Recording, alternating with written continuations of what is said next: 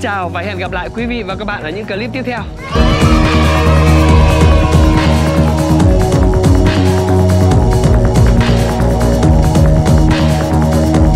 À quên, nếu như quý vị và các bạn đang theo dõi clip, xin quý vị và các bạn hãy like clip, hãy đăng ký kênh để ủng hộ cho kênh ô tô 360 chúng tôi.